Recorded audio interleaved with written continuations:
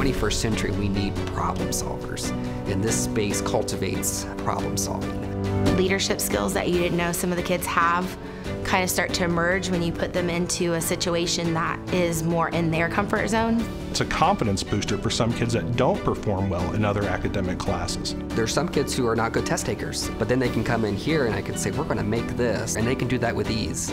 Our school is very diverse. These spaces put our kids on an even playing field. There's so many opportunities that we probably can't even imagine yet that these spaces are opening up for our kids. I don't think that we could have done it without First Makerspace.